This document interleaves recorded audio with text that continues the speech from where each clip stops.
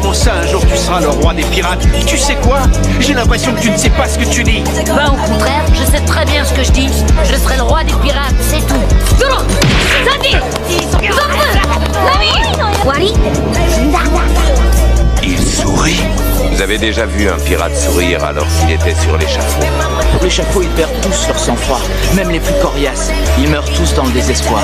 Non, pas tous. La peau de paille, lui,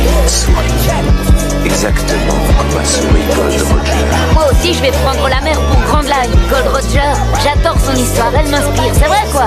Ça, c'est de la piraterie. C'est lui qui m'a donné envie de me lancer. Je vais affronter Grand Line. Ensuite, je découvrirai le One Piece et je deviendrai roi des pirates.